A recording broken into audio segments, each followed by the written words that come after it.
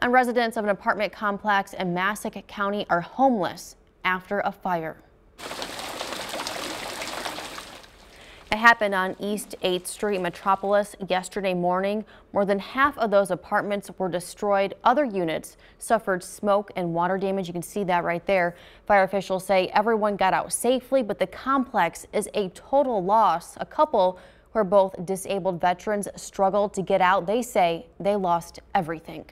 Woke up to flames everywhere, smoke everywhere. We had a time getting out without getting hurt. But we just want to thank God because He's the one that carried us through this so far. And as I said, I know that my Christian fellow Christians will assist us in getting back on our feet and finding somewhere to live.